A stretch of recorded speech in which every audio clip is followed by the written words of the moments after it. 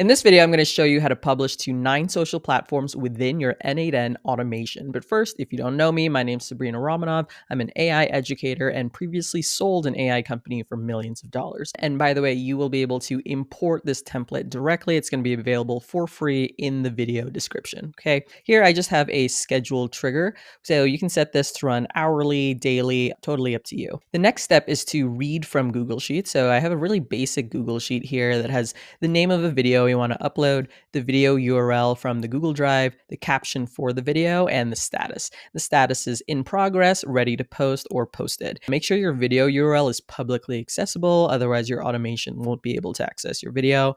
And now what we're going to do is set up N8N so that it detects all of your posts that are ready to post, and then it goes ahead and posts them. Okay, so here, credentials connect your Google Sheets. Okay, choose the document name. In my case, I called the Google Sheet published to nine social platforms, sheet one, and then you're going to want to add a filter. The column is status and the value is ready to post. And you're going to want to set it to return only the first matching row so that we process one post at a time. The next step is getting the Google Drive ID for the file. In order to upload a video from Google Drive to the social platforms, we're actually going to need to use a different URL than the one you typically get when you copy paste the share link. So you don't really have to change anything here. And by the way, if you're not using Google Drive to host your videos, then you can probably delete this node altogether. But I wanted to show an example with Google Drive because it is a little bit tricky. Okay, the next step is to set up all of your social accounts for posting. So we're going to use this website that I built called Blotato, an all-in-one solution to create, remix, and distribute dozens of pieces of content per week. And it includes an API for social media publishing. Go to the document documentation help.blotato.com. Scroll down to the API section and you'll see quick start information, how to get your API key and sample make and N8N automations. Okay, so once you are in the platform, so sign up for it, go to myblotato.com slash settings on the bottom left corner, scroll down. This is where you're going to want to connect all your social accounts. So log in with each account that you want to post to. And then you're also going to want to generate an API key. So if you scroll down a little bit further, this for you will say generate API key. It is a paid feature, by the way, so just keep that in mind when you click that button. And then once you have your API key, we're going to copy it over to N8N. This is a blank version, so you won't see my API key or IDs, but basically you want to fill this out. So you're going to first start with the Blotato API key, go over here, okay, click copy API key, paste it in here. Okay, next is Instagram ID. Go to your connected accounts, find Instagram, right?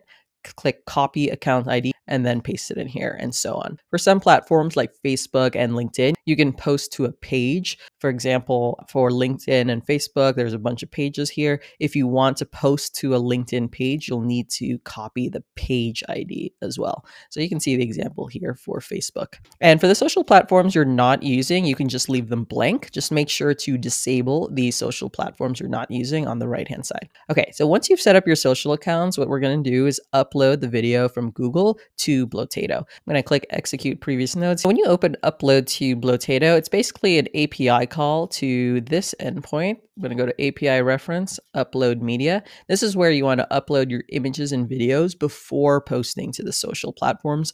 The reason is because the social platforms are often very picky about what URL you're uploading content from. Um, so it will reject most URLs. So that's why I built a service here where you could upload your media and it's an approved domain. So you'll have no issues posting your images and videos from a blotato.com domain. Just to walk through it, you don't have to change anything here, but I'm just going to walk through it. So it's a post request to this endpoint. You're going to send in your blotato-api-key. Make sure these variables are green. If they're not green, you probably just need to run the automation first so the variables populate. And then the JSON body, you're going to send the parameter URL and it's going to be this value. Like I said, for Google Drive, it's a little bit weird. You have to use kind of a different format for the URL and that's why there's that extra step to extract the Google Drive ID and put it here. Now, once you upload your video to Blotato, you can go ahead and start publishing to the platforms. So here I'm showing examples for Instagram, YouTube, Facebook, Threads, LinkedIn, Twitter, TikTok, Blue Sky, and Pinterest. And they're all pretty similar. Some platforms have slightly different parameters, but they're all fundamentally pretty similar. And This post request will use this endpoint slash posts. Okay. What's different here for each platform is the JSON body. So I'm going to open one up so you can see. So this will match the requirement from the Blotato API. Go to Quick Start. You'll see some examples of how to post to platforms. So you can see this is pretty similar to what we have over here. You're just going to want to make sure these variables are green. And again, that usually just requires running the entire automation. You'll note here that the caption I convert to a JSON string because if you have new lines or things like that in your text caption, then you'll get an error. And then for the media URL, we're passing in the URL returned by that upload to Blotato step.